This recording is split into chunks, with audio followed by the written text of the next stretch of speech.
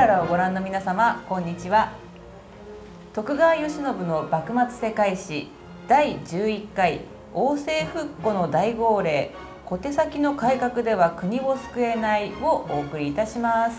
倉山先生よろしくお願いいたします。よろしくお願いします。前回に引き続き龍馬ディス理解はい。いや小手先の改革なんですよ。龍馬の千中八策なんてもそうなんですか？あだって慶喜いるじゃないですかあだって当時あの龍馬は千中八策と同時に人事表とか書いて配るわけですよ。ーうんうん。であのね2012年頃あの安倍旧国内閣閣僚名簿みたいなのがね あのいろんなやつが作って回っていた。あれと同じノリです。懐かしい話い懐かしい話が。でその時にあの中心に「〇〇〇って書いてこれ大樹公慶喜のことじゃねえか。うん。みたいな。え？みたいなみんな疑うわけですよ。はい。で慶喜がいるかどうかが大事なの実は幕末っていうのは。結局慶喜中心に回ってるわけですよ幕末の激動って。はい。で慶喜しか人いないんですよ。うん。でなんとかそれで行こうっていう最大公約数的リアリズムが龍馬でそれじゃダメだとはい。いう話でしたよね。はい、で結局幕末何が問題かっていうとまあ一種争点ですね、何かっていうと結局外国の脅威に対応しなきゃいけないわけですよ。はい五大国。どの一国にも勝てないね、うん。あの力あ力しか日本はないわけですから。であの誰が対応すべきかってね。慶喜に、ね、松平春岳に、えー以外の人は全部土佐で並べちゃいました。けど大政奉還山内陽道はね、はい。やりましたからねこの酔っ払い、はい、近藤正臣が龍馬伝でひたすらねアル中やってましたけどまああんなもんです。はい。うんね、で後藤象次郎とっていう重役とかね下っ端の坂本龍馬はい。みたいな人うんだけ並べときましたけど結局慶喜さん以外ね考えられるうん。いないでしょ他に。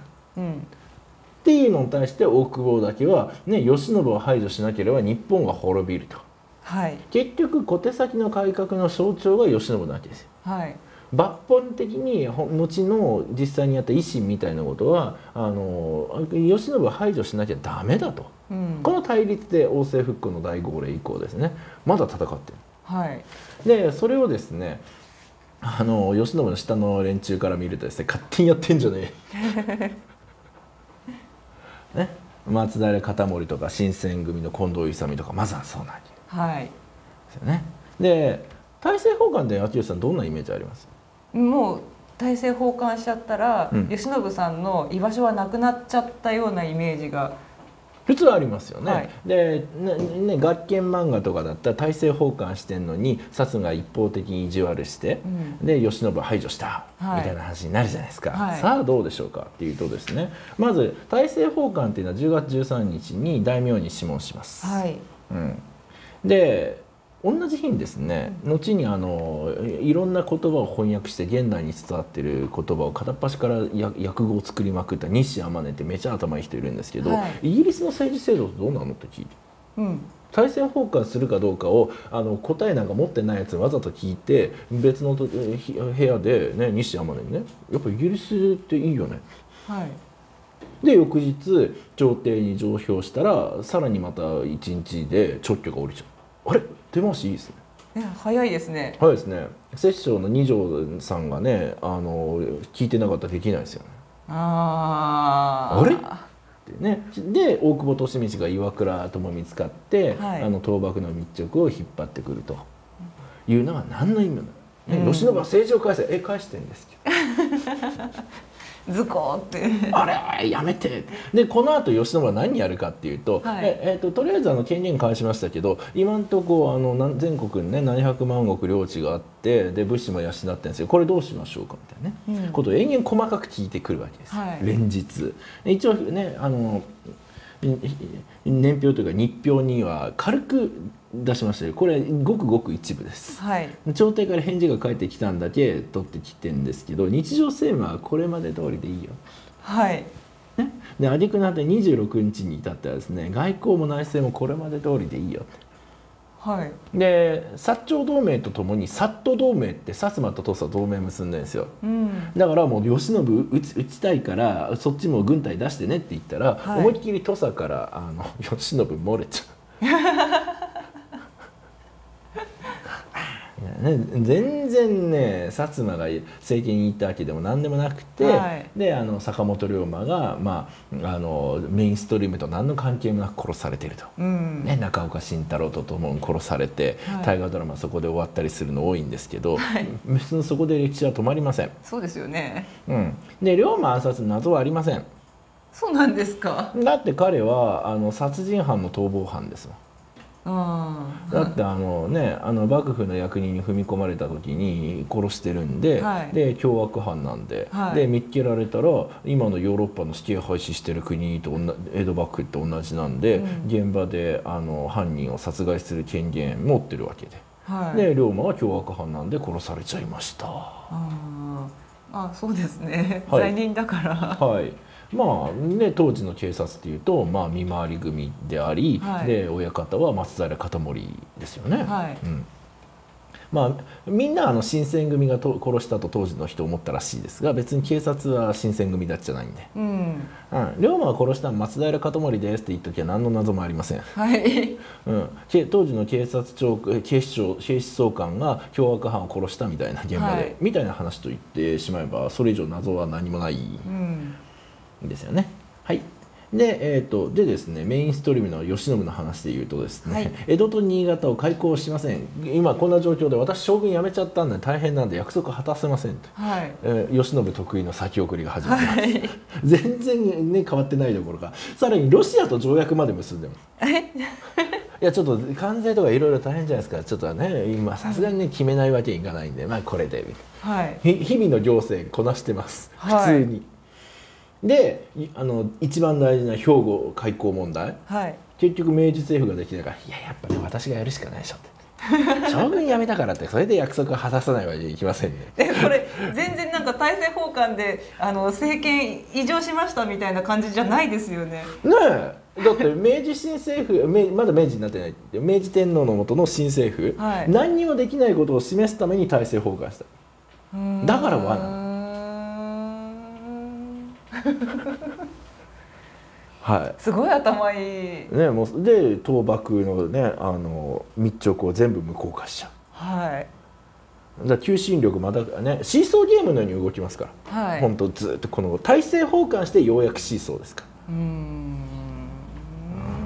第二長州征伐でウィンって言ってのは一緒にしてホイって戻してはい。で大政奉還からはもう本当日単位で動き回って大変なんですよ。はいでですねもう薩摩の方もばねもう全然くじけないんで。はい。だから普通だったらもうこれ勝てないでしょ。うん。相手ね国会で7割の議席持ってる巨大与党みたいな。7割勝てないですよね。ねえところがですねもうとことんまでまっしぐらで、はい。ね、政権だけを奪ったみたいな感じで。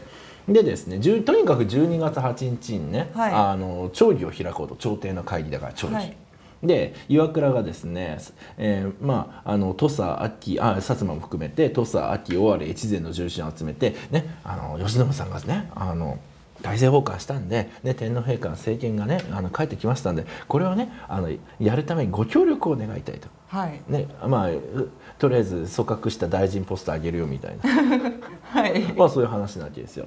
でそれで、まあ、毛利親子、まあ、長州逆賊だったんでこれを逆賊でなくすとか、うん。まあ、三条実富を赦免するとかあと岩倉具視復権はしてるけれど細かいね孝明天皇に歓喜を被ったのがあったんでいろいろ手続き的なことを全部クリアにしてはい。みたいなことは決めたんですが、はい。そんなことはね単なる梅雨払いです。うん。決戦はですねあの古御所会期翌日。はいえーっとまあご飯ねあのこのご飯であの今後の日本やろうとはい。考えるわけですよ。ね気づきました？薩長都比っていうじゃないですか。はい。もう長州逆賊ではいないですよね、うん。土佐二股ですよね。はい。結論から言うと山之内陽道は新幕派で下の連中のあの後藤象次郎とか板垣大輔とかが薩摩と組むという。うん。肥前って出てこないし気づきました？あそうですね。はい思いっきり砂漠です。砂漠？はい超砂漠です。まだまだ砂漠です、うんはい、二重鎖国って言って日本が鎖国してて、さらに肥前はあの他の藩と付き合わないぐらい鎖国みたいな。うわーなん勝か手にあの富国強兵意思やってんですもん。はい。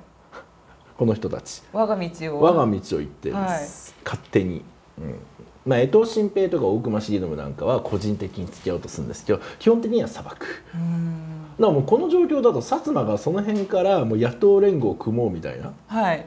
まあ、ある種小沢一郎が憧れるのはそこなんですよ。もう何でもいいからねもう思想なんか関係ない。はい。数が全てだと。力が全てだみたいなね、はい。そこだけ真似されても困る。つまりねあの勝ったら大久保利通で負けたら小沢一郎ってことですね。同じことやっても。はい。なんか急に情けなくなりましたさてと。でですねもう岩倉智美がですね徹底的に挑発するわけですよ。あちなみにあの昨日まで5所を守ってた新選組を含めたはい。会津桑名どいてってうん。えちょうちらがやるから。はい。どけって。どいてどいてって。はい。うんで数が多いからもう引き上げざるを得ない。はい、ね、その場で戦争でやるわけにいかないし、うん。しかも直命もらってきてるしはい。でそれでそうそうやって御所を警備と称して包囲してその中で会議やってるわけですよ。はい。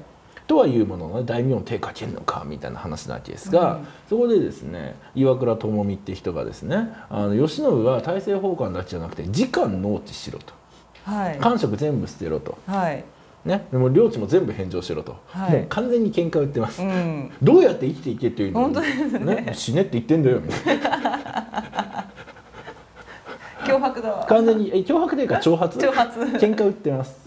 ね、で山之内陽道がもうちなみにこの時ヘベレ系です。あ酔っ払って。得意の。酔っ払得意というか日常。日常の。はい。ね、で幼少の天使を養子立て祭るお前ら好き勝手やってんじゃねえと、これがねあの明治天皇の目の前でガキ呼ばわりしたってセリフですね。へえこれ目の前で言ったんですか？目の前で午前会議なんで岩倉に向かって酔っ払ってふざけんなよ幼少の天使を養子立て祭りって言った瞬間に岩倉が「なんて言ったってね どうせ返答せよどうせ!」って言ったら「ぐぬぬ大不敬であるぞ!」みたいなね、大失言。みたいな、そんなやり取りが岩倉浩二記に書いてあります。はい。はい、っていうふうにもうひたすらね、あの酔っ払いの山之内陽道をあの午前会議でメンバーすると。はい。いうやり取りがありました。とにかくもう完璧にあの挑発して喧嘩売ってます。はい。岩倉は強気だね幕府はだいぶ旗色悪いね。でとはいうものの,、はい。その松平春学ってねあの幹事長が出てきて 二階さんみたいに。まあまあそこは。ね土佐さんも岩倉さんも薩摩さんもここは皆さんね保守は仲良く バランサー出てきちバランスバランサーやりたがるね。いや同じね日本人じゃないですか。ここはまあまあみたいなねことややるんですが、はいでもう岩倉たはですね、まあ、ここまで頑張ってくるわけですが休憩します、松平春学がそういうことを言い出したんで,、はい。でその結果ですねあの肩がつかんと。はい。ね、どうしようどうしたらいいかってね。岩倉まあ大久保はそこ見てて岩倉しか殺言権なくて西郷が外で警備してるんですよ。はい。で3人で休憩時間集まってどうしようかなであの岩倉と大久保があの相談したら西郷さんが「担当一本あれば肩がつきもそう」殺しはいいじゃん。でそれに対する2人の反応が「あそっか。やるんだ。え？やるつもりなんだ。いやもう岩倉よし分かったわしがやる。もう決めたちょ担当頂戴でこれでいいか。って懐を忍ばせてやる気満々ですやねる気満々で。でもうそこで決心ついたら、はい。なんか薩摩の連中頭おかしくて「だあのいや陽道さん殺すらしいぜ」って噂流しまくって。もう噂に もう意図的に流す殺す気です。ああの人ら頭おかしいと、うん。流してそれで山之内やべえここは引こうと。言ってもうこういう人事表を作ってきましたと押し付けるわけですね、はい。で結局まあトップはまあアリス川の宮なわけですよ。はい。ねえーそれでまあ総裁議場参与っておいて、まあ、議場にはまあ奥家さんとそのご飯の大名。で参与っていうのは岩倉智美っていう中級公家と、まあ、それぞれの派の代表、はい。ね、西郷とか大久保はここに入るわけですよ。うん。岩下って誰だよ？うん。誰？私も知りません。だからそれくらい下っ端の連中がもう慶喜を潰さなきゃ日本は成り立たないと思って戦ったわけなんですよね。はい、っていうねことでなんかピオちゃんが何か言ってますよ。参与って昔はすごい人の役職だったんだね。多分今の内閣参与のこと言いたいんですかね。本田さん頑張れ。10%を阻止したあなたは偉かった。8%のことは忘れてあります。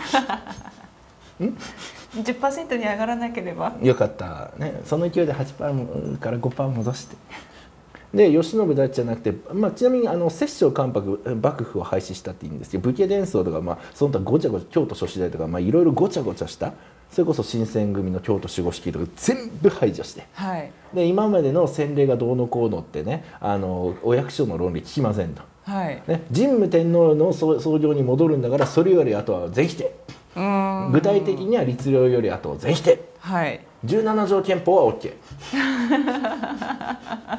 ね、私もね神武天皇に戻ろうって無茶言いませんが聖徳太子様は否定まではしませんよね、はい。やっぱり日本人ですから。でも律令以降のしがらみ申し込まれても困る。うん。これやんない限り勝てない。うん。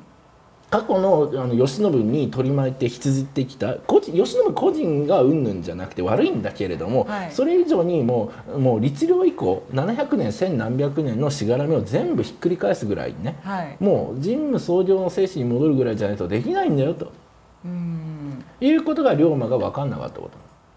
で大久保利通がこれを言って口で言ったところで、はい。単なる妄想しか聞こえないわけですよ。うん。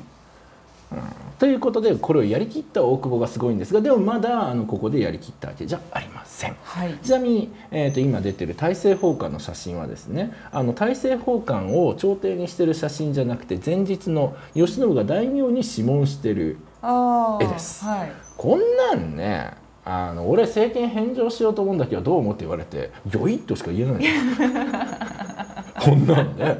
いややめた方がいいよとか。どうせあんたあのねあいつものごとくさ人騙そうとしてんだろうって言うやつ呼ばないわけですよこんなの。うんなこと言うやつ最初から呼ばない。慶喜ってそういうやつ。はい。はい。ということで次回。鳥羽伏見の戦い一瞬の大逆転各て維新回転なるをお送りいたします。お楽しみになさってください。